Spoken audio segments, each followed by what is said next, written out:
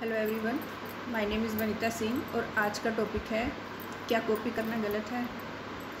या कॉपी करना सही है?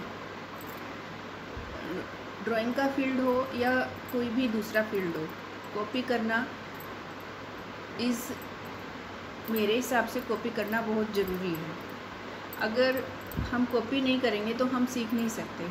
हम कभी भी नहीं सीख सकते, कुछ भी। बचपन से लेके आज तक हम जब किसी चीज़ को देख के ही सीखते आए हैं, चाहे वो बोलना हो, खाना हो, पीना हो, जैसे जैसे हम उसे देखते हैं, तभी करते हैं, फिर सीखते हैं।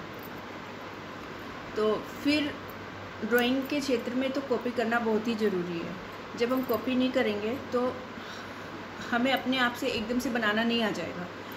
किसी को देख कर किसी से पूछ कर और किसी की कॉपी करके ही हम बना सकते हैं।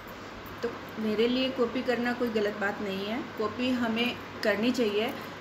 लेकिन बार बार कॉपी करना ये गलत है क्योंकि इससे आपकी ग्रोथ रुक जाती है।